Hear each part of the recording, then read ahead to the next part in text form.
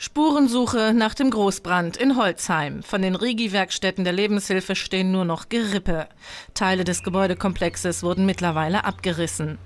Fassungslos steht der Geschäftsführer der Lebenshilfe e.V. Uwe Hartmann vor den Trümmern. Das tut sehr, sehr weh, das tut im Herzen weh, das tut in der Seele weh.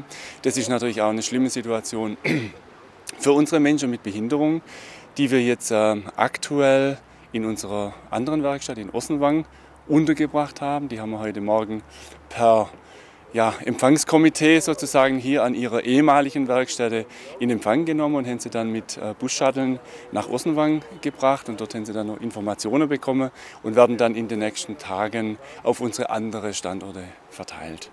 56 geistig behinderte Menschen haben hier in den Rigi-Werkstätten gearbeitet. Der Schaden an Gebäude und Inventar liegt bei mindestens 750.000 Euro. Doch viel schwerer wiegt der seelische Schaden, den die Beschäftigten davongetragen haben. Die sind natürlich sehr betroffen äh, hier angekommen. Zum Großteil haben sie schon erfahren über die Presse. Und einige natürlich auch jetzt erst heute hier äh, vor Ort. Und wenn man aber das Ganze natürlich tatsächlich auch plastisch sieht, ist das natürlich noch einmal viel, viel dramatischer, als man hört es nur so oder man liest es irgendwo. Im Tageslicht werden auch die Schäden an den Nachbargebäuden erst richtig sichtbar. Die Fensterläden sind verschmort und verzogen, viele Fensterscheiben weisen Risse auf. Roland Küstner stand auf dem Balkon seiner Wohnung im Nachbarhaus, als das Feuer ausbrach und sah, wie sich die Flammen schnell ausbreiteten. Hat der Baum angefangen langsam zu brennen, auf einen Schlag, richtig explosionsartig, der ganze Baum, die ganze Wiese auf einmal brennt. Und dann habe ich gedacht, ich muss doch langsam kriegen, also mal in die Wohnung reingehen, dass ich dann langsam selber Fackel anfangen. Und dann hat so am Gescheibe angefangen zu knacksen.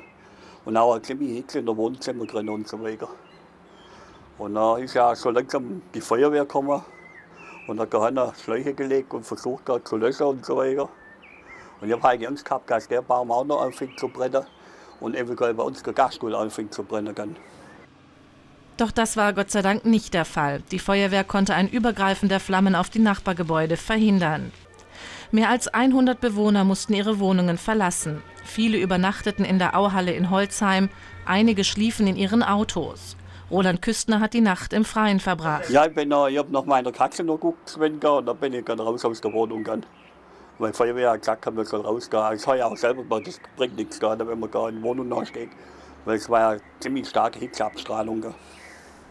Mittlerweile konnten alle wieder zurück in ihre Wohnungen. Die Kriminaltechniker sind vor Ort, die Brandursache ist noch nicht bekannt. Brandstiftung kann aber nicht ausgeschlossen werden. Hinweise nimmt die Kripo Göppingen entgegen. Telefon 07161 63 2050. Unterdessen suchen die Göppinger Stadtverwaltung und die Lebenshilfe nach neuen Räumen für die Werkstätten.